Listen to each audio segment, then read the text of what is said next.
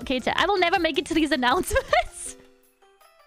Jay, oh, Ulrich redeemed another dad joke. Are you ready for yet another dad joke from the dad joke card deck? The only card deck that really matters. Sorry, Yu-Gi-Oh! what did the grape do when he got stepped on? He let out a little whine. I hate it here. Can unsubscribe from my own channel? Is that possible? Is that possible? Frick! How do you all know this? You all have dads that are funny? Mine's funny, but not funny, haha. He's like funny weird.